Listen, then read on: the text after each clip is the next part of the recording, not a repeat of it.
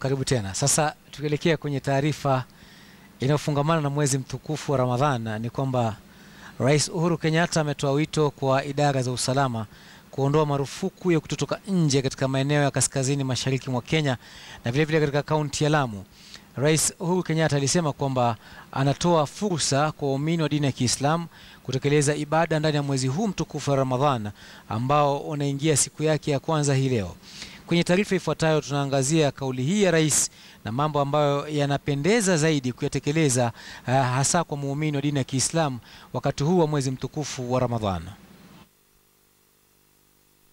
Ya ayyuhalladhina amanu kutiba alaykumus siyam kama kutiba alal. Ni hapo jana tu baada ya kadhi mkuu wa Kenya Sheikh Ahmad Mudhar kutangaza kuonekana kwa mwezi na hii ikawa ni thibitisho la kuanza kwa mwezi mtukufu wa Ramadhana.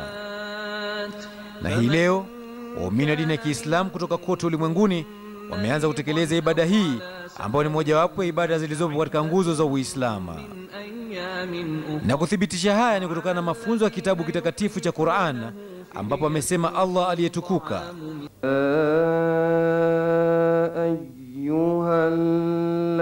ayyuhalladhina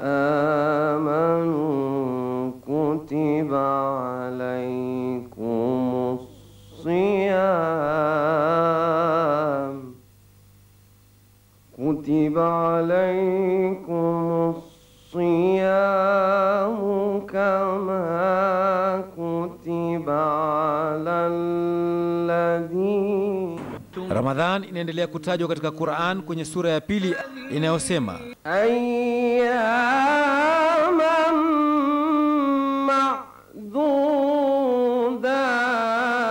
معدودات mwezi wa Ramadhan ambayo imeteremshwa Qur'an kuwa ni uongofu kwa watu na hoja zilizo wazi za uongofu na upambanuzi. Na kwa kuwa katika mwezi huu ndio Qur'an ilipoteremshwa, kila muumini wa dini ya Kiislamu anakokotezwa kufanya bidii katika kusoma angalau juzuu moja kila siku ili aweze kumaliza msahafu ifikapo mwisho wa mwezi huu wa Ramadhani.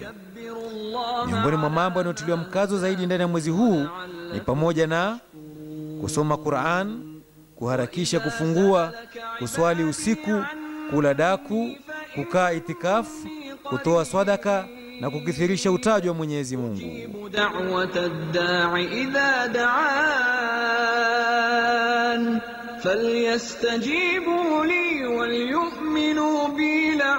Haya ni baadhi tu ya mambo yanayotakiwa kufanywa na Muislamu hasa awapo ndani ya mwezi mtukufu wa Ramadhani.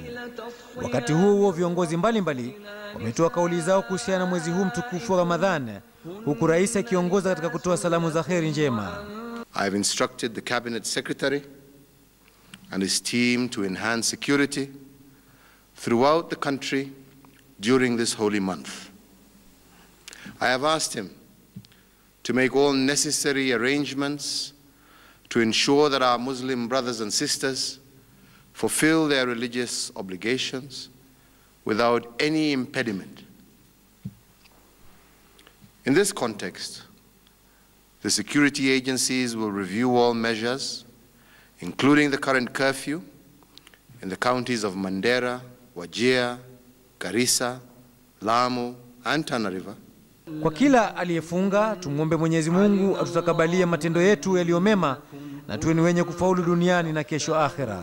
anfusakum fataba alaykum wa afa ankum